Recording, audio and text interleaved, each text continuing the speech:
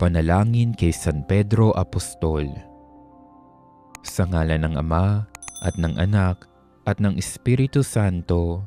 Amen.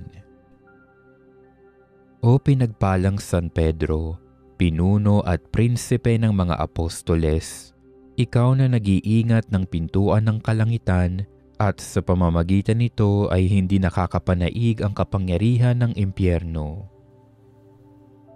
Ikaw ang batong kinasasalalayan ng simbahan at pastol ng kawan ni Jesus.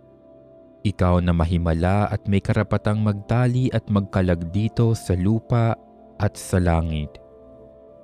Ikaw na lumakad sa ibabaw ng tubig at sa pamamagitan mo ay maraming napagaling na mga may sakit sa pamamagitan nawa ng iyong matimyas na pagtitiwala at pananalig kay Jesus na iyong Maestro, ay hanguin mo kami mula sa aming pagkakasadlak sa dagat ng kasalanan. At sa pamamagitan ng iyong luhang itinangis, sa iyong pagsisisi sa iyong nagawang pagtatwa sa Panginoon, ay malinis rin nawa ang aming mga pagiging makasalanan Tulungan mo ako o pinagpalang apostol na ako'y matulad sa iyong pagsunod sa landas ni Kristo patungo sa kabanalan. Sa pamamagitan mo nawa, matanggap ko rin ang aking gantimpala sa kalangitan kung saan makakasama kitang magpuri sa Diyos kasama ng kanyang mga anghel at mga banal. San Pedro Apostol, umaasa kami sa iyong mga panalangin at mabisang pamamagitan.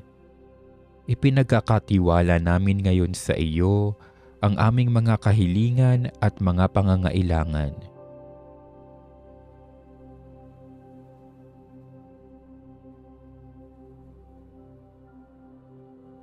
Ama naming makapangyarihan, ipinakikiusap naming huwag mong ipahintulot na madaig ng anumang mabigat na pagsubok, kaming naninindigan sa ibabaw ng batong si Apostol San Pedro na sumasampalatayang matapat sa iyong anak na si Heso Kristo na aming tagapamagitan kasama ng Espiritu Santo magpasawalang hanggan. Amen. San Pedro Apostol, ipanalangin mo kami. Sa ngala ng Ama, at ng Anak at ng Espiritu Santo. Amen.